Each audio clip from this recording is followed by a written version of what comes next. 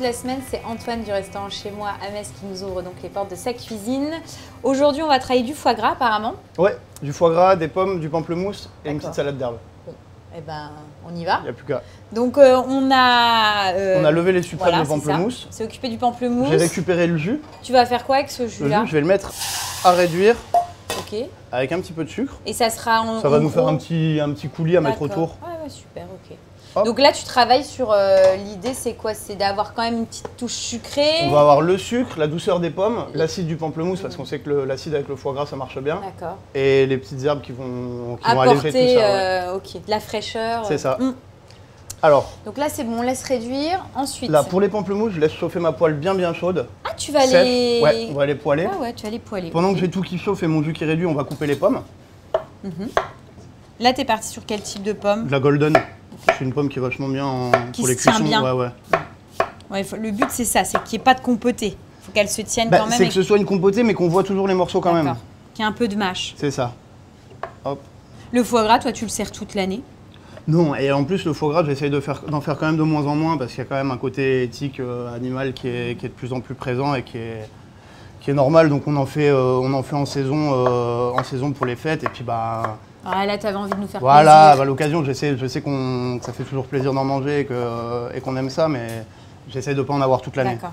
Ouais, t'en as aux périodes des fêtes, quoi, Voilà. principalement, ou dans des Ou choses un, un, peu menu, festives. voilà, sur un menu, sur la fête des mères, des trucs comme ça.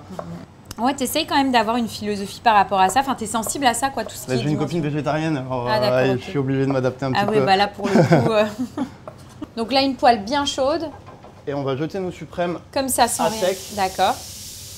Avec un petit peu de sucre. D'accord. Là, t'attends... Enfin, c'est vraiment rapide, c'est Ouais, ça, remettre... ça va assez vite, tu vas D'accord. voir. Ouais, ça va faire comme un caramel, d'ailleurs, autour. Bah voilà, c'est en train de se faire. Et d'un autre côté, on va faire nos pommes, Donc là, tu mets une petite noisette de beurre. un petit peu de cassonade. D'accord.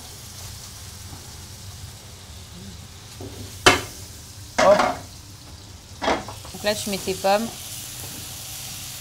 Hop. En a assez. Ouais, donc tu auras vraiment un côté caramélisé qui sera très présent dans ton plat, quoi. Ouais, mais ça va être quand même présent. cassé par l'acide, euh, par l'acidité Oui. du pamplemousse. À l'étouffer. Bon, bah voilà, là, le pamplemousse, on voit qu'il a bien, Mmh. bien éclaté, bien compoté. On va mélanger les deux, T'assembles pommes et pamplemousse. c'est ça. Ok. Et là, tu... Ok. Et tu vois, là, le pamplemousse, en fait, va venir lier. Hmm. Ah, je savais pas que tu allais les la mélanger pomme. comme ça. Oui, donc on, a, on va avoir et le sucre et l'acide euh, dans un même euh, mariage, on va dire ça comme ça. Ça, on va le laisser cuire encore un petit peu. Mmh. Ça, tu vas le servir chaud? Ouais, ce sera chaud dans le fond de l'assiette. On aura tout du chaud. Tout du chaud, avec la petite salade. Oui. Bon, alors là, on va laisser compoter encore un petit peu ça. Mhm. On a notre jus qui réduit et je laisse chauffer ma poêle pour, euh, pour, poêler les foie gras. Voilà, Donc là, elle est bien... poêle bien chaude. D'accord. Donc tu as assaisonné avant, hein, Ouais. sel, poivre. Donc là, on n'a plus qu'à laisser euh, On va laisser colorer. bien coloré et pour que ça soit bien euh, croquant, quoi. Ouais. Enfin. Oui, Après, croquant. ça va assez vite. hein. Mm.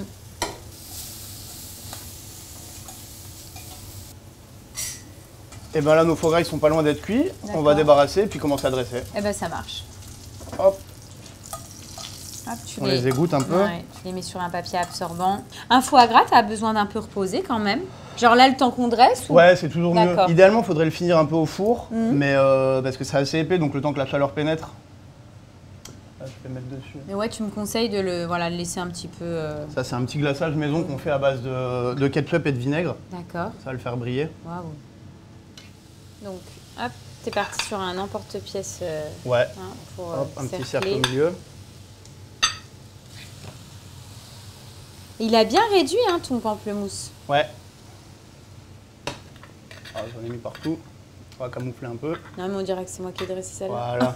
Voilà. On va mettre nos petits foie gras. On a une salade d'herbes, c'est un mélange de danette, menthe, cerfeuil, coriandre, ciboulette. Hop, on mélange tout ça. Ah, top.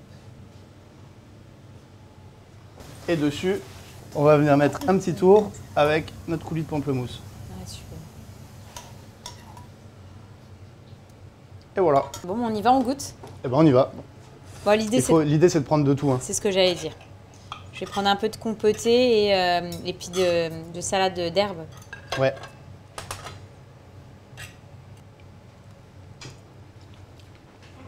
Ce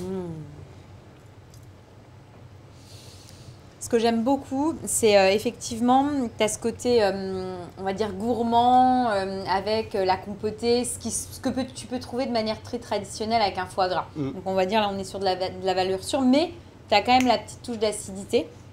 Et avec la salade La d'herbe, ça pète. hein. Ouais, franchement, tu vois, la combinaison de tout ça fonctionne. Donc, je vous invite vraiment à faire la salade d'herbe pour apporter la fraîcheur Eh ben, qu'on aime retrouver en été.